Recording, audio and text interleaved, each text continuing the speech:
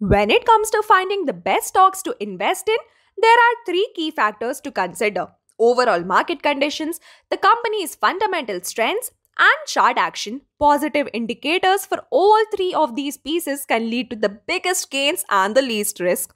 To illustrate this, the video uses depository services firm CDSL as an example.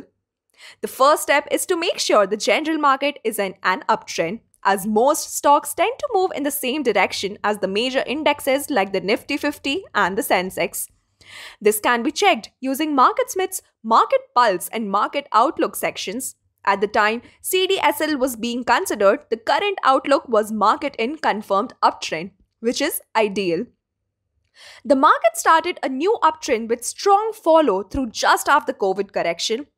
The second step is to ensure that the company has industry leading products and services that are driving strong fundamentals, such as solid earnings and sales growth. CDSL's depository services and solutions were driving strong sales, and the company's profits were coming on strong. CDSL had posted strong percent gain in sales and earnings in recent quarters. The third step is to look for the stock to form and breakout of a chart pattern, such as the cup with handle, double bottom, or flat base. These chart patterns serve as launching pads for big stock moves. Waiting for a stock to build a base and climb past the ideal buy point can significantly improve the chances of success. CDSL was forming a cup with handle pattern and cleared the ideal buy point of 276 with volume greater than 10 week moving average. The stock then rose over 85% in just 3 months before starting to form another base in October 2020.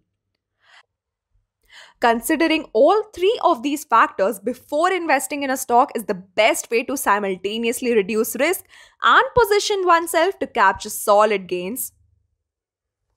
Hey everyone, thanks so much for watching MarketSmith India on YouTube. If you want to watch more videos, make sure you hit that subscribe button so you never miss a thing.